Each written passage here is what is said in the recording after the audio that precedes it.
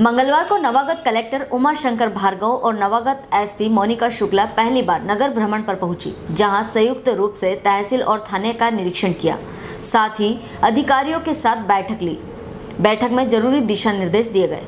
स्थानीय rest house पर collector Umashankar Bhargava ने मीडिया से चर्चा करते हुए बताया कि विदिशा ज़िले में उनकी अभी अभी पोस्टिंग हुई है। शहर की भौगोलिक स्थिति का जायजा लेने के लिए आज पहुँचे हैं। उन्होंने कहा, शहर की कानून व्यवस्था क्या है? विकास की स्थिति कैसी है? क्या समस्याएँ हैं? उसका जायजा लिया है। वहीं उन्होंने पत्रकारों के सवालों का भी जवाब दिया। उन्होंने लाल पठार हादसे की जाँच रिपोर्ट देरी क्यों हो रही है, इस पर आज ही पता करेंगे। क्या स्थिति है?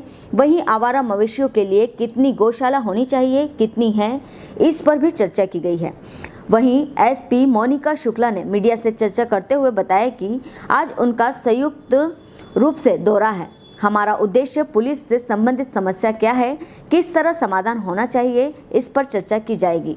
गंज बासुदा से मुकेश चतुर्वेदी की रिपोर्ट। तीन जगह हम और कलेक्टर साहब संयुक्त भ्रमण पर निकले हैं। हमारा उद्देश्य थाने और तहसील का भ्रमण है। साथ ही जिस शहर हम जा रहे हैं, वहाँ की समस्याएँ क्या हैं? पुलिस से संबंधित किन समस्याओं का हमें समाधान करना इससे अवगत होना है। तो इस संबंध में अभी जो थाने के वरिष्ठ अधिकारी हैं एस डी ओ पी साहबान और टीआई को हमने ब्रीफ दिया है और अभी मैं थाने जाऊँगी, यहाँ सभी स्टाफ को ब्रीफ किया जाएगा। हम चाहते हैं कि पुलिस का प्रेजेंस बढ़े। तो सभी को ये बताया गया है कि शाम के समय छः से लेकर बारह बजे तक पुलिस की प्रेजेंस सड़कों पर ज़्यादा से ज़्यादा नज़र आए। हम कोशिश करेंगे जो चोरियाँ हो रही हैं उन पर लगाम लग सके। उसके लिए उनको क्या क्या मोड ऑफ़ एक्शन है ये भी हम डिस्कस कर रहे हैं। चोरियों के साथ साथ मैडम देखने में आ रहा है नशे में ज़्यादा युवा पीढ़ी हो रही है कि नशे के लिए पुलिस के द्वारा कुछ किया जाएगा? बिल्कुल किया जाएगा। नशा एक बहुत ही गंभीर बीमारी है जिससे हमारे आगे आने वाली पीढ़ी को बहुत नुकसान होता है और हम कोशिश करेंगे जनता की मदद से पत्रकार साथियों की मदद से इसको हम समूल रूप से नष्ट कर सकें। दौरे के लिए देखिए आज एसपी मैडम भी आई हुई हैं और मैं भी आया हुआ हूँ। अभी मैंने गुलाबगंज तहसील है उसको देखा वहाँ का इंस्पेक्शन भी किया था लोगों से बातचीत भी हुई क्योंकि मेरी पोस्टिंग विदिशा में अभी अभी हुई है। तो पूरे ज़िले को उसकी जो भौगोलिक स्थितियाँ हैं, कोई कानून व्यवस्था की स्थिति कहीं नहीं है।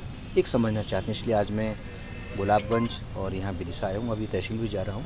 यहाँ के बाद मैं एक जगह और जाऊँगा, वो कुरबाई है। और सामान्य जानकारी के लिए वही क्या स्थिति है, कानून व्यवस्था की स्थिति क्या है, विकास कार्य किस तरह से चल रहे हैं, और जो ऑफिशियल काम है वो किस तरह से है, कहीं कोई समस्याएँ तो नहीं। देखने में आ रहा सर नगर में अतिक्रमण चपेट में है। क्या आपके आने से अतिक्रमण पर कोई मुहिम होगी? बिल्कुल होगी। हमारा मूल काम है अतिक्रमण के खिलाफ कार्रवाई करना और हम इसमें निश्चित रूप से कार्रवाई करेंगे। सर शहर में मैंने अभी चर्चा की थी हमारे सीओ जनपद पंचायत भी हैं कि हमारे यहाँ कितनी यहाँ गौशाला हैं। कई गौशाला ऐसी हैं जो ग्राम पंचायतों ने बनाई हैं और कई गौशाला ऐसी हैं जो कई समाज चला रहे हैं। जैसे यहाँ पर जैन समाज मुझे बताया गया कि जैन समाज चला रहा है और लोग चला रहे हैं। तो हम एक सर्वे भी कराए कि भाई यहाँ पर लगभग कितना कैटल है, मवेशी हैं, उस हिसाब से कितनी गौशालाएँ होना चाहिए। तो निश्चित रूप से हम आगे वैसे ही प्लानिंग करेंगे, ताकि ऐसा ये जो आवारा जो मवेशी हैं इसकी समस्या से निजात मिल सके लाल पटार के हादसे को लेकर अभी तक कोई जाँच का मालूम नहीं पड़ पाया ना कुछ पता पंद्रह दिवस में आना थी दो महीने हो चुके हैं देखिए लाल लाल पठार में मतलब किस यहाँ एक बहुत बड़ा हादसा हुआ था उसमें मैं, मौत हो गई थी मैं मैं, मैं केवल एक चीज़ आपसे जानना बताना चाह रहा हूँ कि मुझे हल्की सी ये जानकारी है कि वहाँ जो पानी है उसमें फ्लोरोसिस बहुत ज़्यादा है उस पानी में उस एरिया में। यदि वही बात है तो मुझे हो सकता है वो।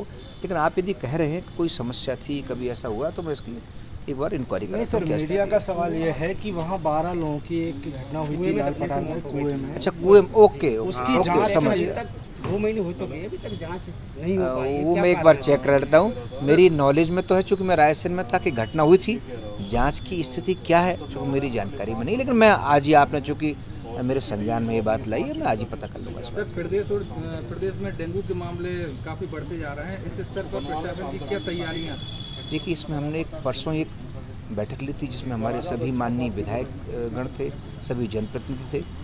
कल से मध्य प्रदेश शासन इसमें एक अभियान चलाने चला रही है सरकार जिसमें माननीय मुख्यमंत्री जी खुद इसका शुभारंभ कर रहे हैं। और हमने एसडीएम साहब को सी एम नगर पालिका सभी को निर्देश दिया है कि नगरीय क्षेत्र हों सी साहब को भी कहा ग्रामीण क्षेत्र हो वहाँ पर फॉगिंग मशीन से फॉगिंग की जाए, दवाई का छिड़काव किया जाए, और लोगों को इस बात के लिए प्रेरित किया जाए कि जैसे उनके घरों में कूलर है या गमले हैं, कई बार दस दिन से पानी भरा है, आप देखेंगे डेंगू का जो लार्वा होता है, वो साफ़ पानी में ही जन्म लेता है। तो लोगों को जब तक, लोगों को अवेयर करना पड़ेगा, क्योंकि जब तक इससे लोग नहीं जुड़ेंगे, तब तक इस पर हम कंट्रोल नहीं कर पाएँगे। तो मेरा, आप लोगों के माध्यम से बासोदा के लोगों से अनुरोध है कि कृपया अपने कूलरों में या गमले में या कहीं अन्य जगह गड्ढों में कहीं इस तरह से पानी भरा हुआ तो कृपया उसमें आप ऑयल या मिट्टी का तेल या इस तरह की चीज़ डाल दें ताकि उसमें मच्छर नहीं पनपने पाए और हम डेंगू से अपने आप को बचा सकें thank you thank you sir